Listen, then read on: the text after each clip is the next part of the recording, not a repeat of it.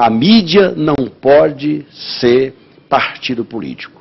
E, passadas as eleições, nós do PT vamos tomar uma medida, quer queiram, quer não queiram. É a regulamentação da questão da comunicação no país. Nós vamos ter que enfrentar esse debate porque foi além do limite. Nós não podemos, não é a primeira vez, mas bateu, é, foi além do limite, é isso que eu estou dizendo. E nós precisamos reagir a essa ação orquestrada às vésperas da eleição, que tem como único objetivo é, prejudicar o PT. Nós temos que reagir à altura a essa ação de, é, da elite brasileira, de setores da mídia que querem interditar o projeto vitalioso do PT.